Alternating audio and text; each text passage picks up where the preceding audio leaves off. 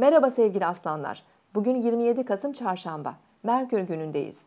Bugün Ay Başak Burcu'nda ilerliyor. E, gün içerisinde özellikle kazançlarınız, gelirleriniz, giderlerinizle ilgili konular gündemde olabilir. Ödemeniz gereken faturalar, hesaplar e, gün boyu sizi meşgul edebilir.